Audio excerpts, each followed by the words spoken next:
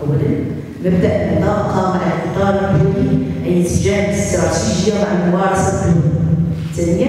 مبدأ التطابق مع مبادئ القانون الإطار 99 بمثابه الانتاج الوطني للبيئه والتنمية المستدامة. ثالثا مبدأ التزام الاعراف المعنية من مؤسسات من مؤسسات الحكومية جماعات ترابية قطاع خاص. والشارع المدني ومواطنين التدابير والإجراءات التي حددتها هذه الاستراتيجية. رابعا استراتيجية عالميه أي قابله للتحقق وعلى الجهات المعنيه السهر على تنفيذها تتأسس الرؤيه الاستراتيجية على إنتاج أربع مكونات الاقتصادي الاجتماعي البيئي والثقافي. وانسجام على مبدا إدماج المرتكزات الرئيسيه في الرؤية الاستراتيجية للتنميه المستدامه مستدامه لبلادنا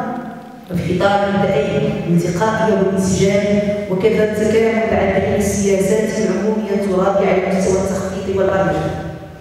واقصد هنا على خصوص التصميم الجهوي بهيئة التراث لجهه باجسوان الحسيني برنامج التنميه الجهويه للجهه 2020 2027 وبرنامج التنميه الإقليمي 2020 2022 عفوا 2027 والمسابقة عليه في دورة الجامعة 2022 من قبل تجهيز تكليف العرائش وانطلاقا من وعيه باهميه الاستراتيجية للمؤهلات الطبيعيه في بناء التنميه المستدامه المستدامه التي يسخر بها هذا الاقليم كالأراضي الفلاحية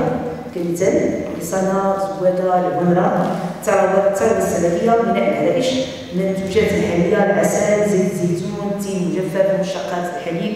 وما إلى ذلك. الكل تلطفت وجديان قصر كبير. مواقع طبيعية بحيره والمخازن وأثرية وزوار بالعياشه موقع الاكسوس العرائش مقابر الاسلام بلاد الشيخ مغارات وكهوف دوار جديدة بالكل ضريح ولي عسان قلعة بسم دوار تزرات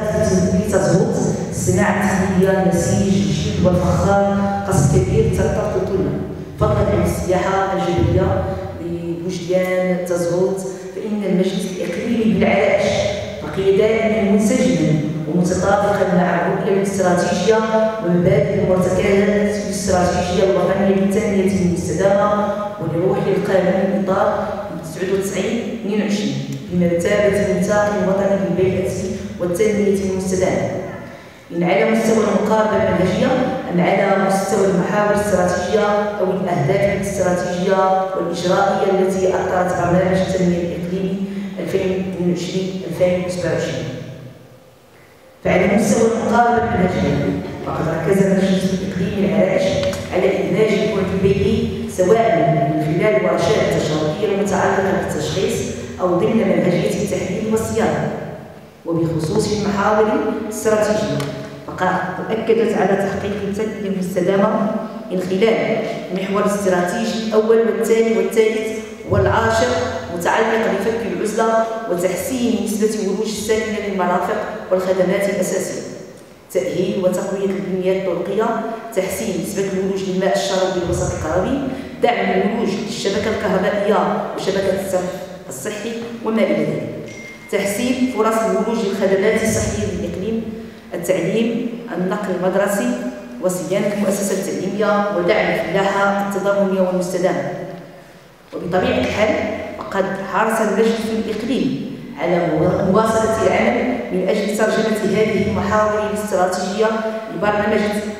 برمجة مشاريع حقيقية تتمثل على الخصوص في تهيئة المسالك الرابطة بين المداشر والطريق الإقليمية أو الوطني. المساهمة في التدخل العاجل لمواجهة النقص في الماء الشرب إحداث شبكة لتطهير السائل من مختلف مراكز الجماعة الترابية بالإقليم. المساهمة في حماية الأراضي من الفيضانات وانجرات التربة دعم تسويق المنتوجات السياحية المحلية دعم تدبير مندمج للنفايات من أجل اقتصاد دائم. إلا أنه وبالرغم من الإكراهات المالية التي يعرفها المجلس الإقليمي للعرائش والمتمثلة على الخصوص في الترجع الضريبي البين في حصته من الضريبة على القيمة المضافة أن في الولاية السابقة كانت ميزانية من آه، تقسيم 43 مليون درهم خلال الولاية السابقة إلى 9 مليون درهم خلال الولاية الحالية إلا أن المجلس ما زال ماضي